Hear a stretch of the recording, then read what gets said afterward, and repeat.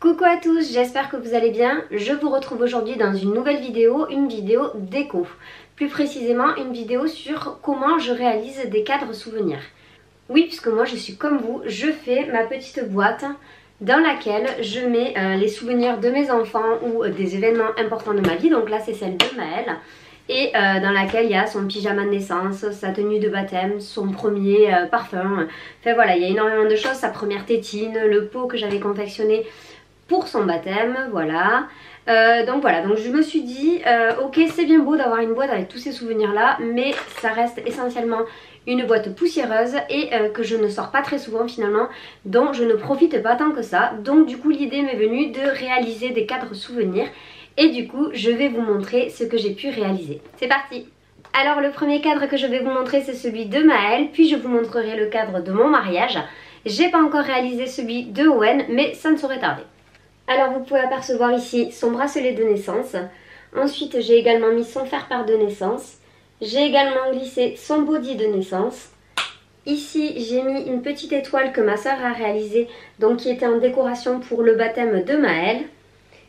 Et en bas, là, tout en bas, j'ai mis euh, sa première mèche de cheveux qu'on a coupée euh, chez le coiffeur. Voilà, je l'ai glissée dans un petit sac plastique pour pas que euh, les cheveux volent dans tout le cadre. Et après, j'ai rajouté quelques petits éléments de décoration.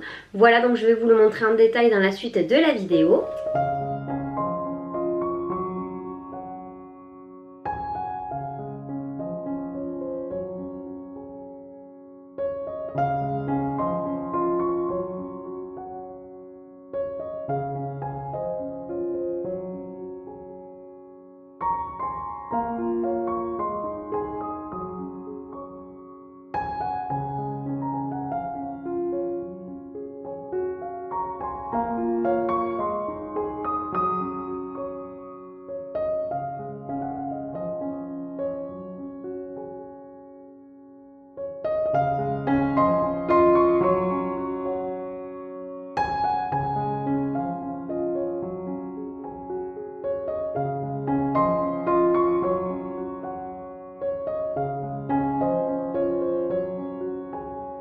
Ici je vous présente le cadre de notre mariage. Donc euh, ici j'avais mis les porte-serviettes.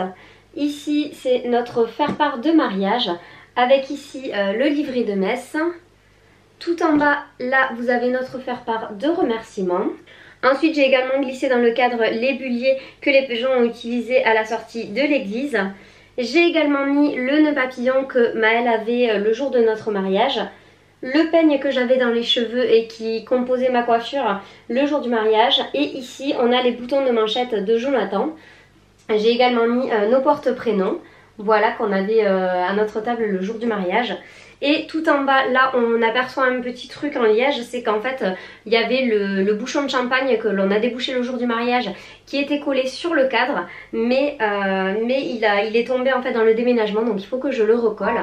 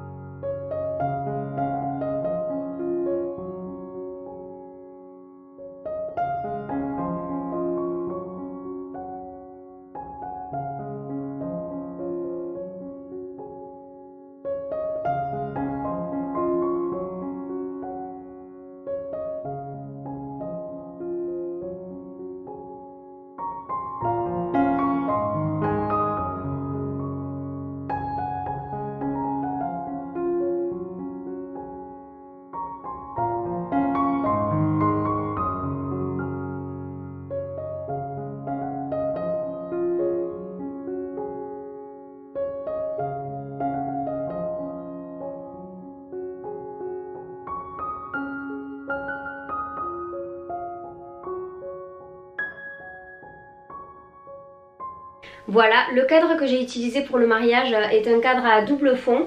Donc je l'ai acheté chez Ikea et je le trouve super pratique. D'ailleurs je pense que je vais changer celui de Maëlle et que je vais le remplacer par un cadre comme ça. Puisqu'on a vraiment la place de glisser des objets même volumineux euh, à l'intérieur. Donc vous pouvez voir au travers de ce cadre que vous pouvez vraiment glisser tout ce que vous voulez euh, dans votre cadre à souvenirs.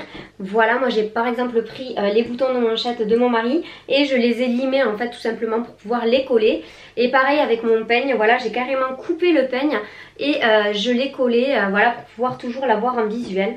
Donc je trouve cette idée hyper intéressante puisque ça permet voilà, de ne pas avoir les objets qui s'entassent dans une boîte et finalement on n'en profite pas. Là euh, on peut les afficher dans la maison et ça fait vraiment un super joli cadre. J'ai pris vraiment beaucoup de plaisir à réaliser ces deux cadres là et euh, j'en prends tout autant à les regarder au quotidien finalement. La placer devant, à les regarder, ça me rappelle énormément de souvenirs et du coup j'en profite beaucoup plus que s'ils étaient enfermés dans une boîte. Et voilà, cette vidéo est maintenant terminée. J'espère qu'elle vous aura donné plein d'idées au niveau de la décoration de votre maison et j'espère surtout qu'elle vous aura fait sortir de vos vieux cartons et de vos vieilles armoires tous les objets qui vous tiennent à cœur. N'hésitez pas à partager cette vidéo si elle vous a plu et si elle peut vous donner des idées à quelqu'un que vous connaissez. N'hésitez pas à la liker, n'hésitez pas à vous abonner à ma chaîne si l'univers vous plaît et n'hésitez pas également à me rejoindre sur les réseaux sociaux Facebook et Instagram, il y a les liens en barre d'infos. Comme ça je peux échanger avec vous, discuter avec vous et faire des vidéos qui vous intéressent et euh, voilà, vous pouvez également me soumettre des idées par le biais de ces réseaux-là.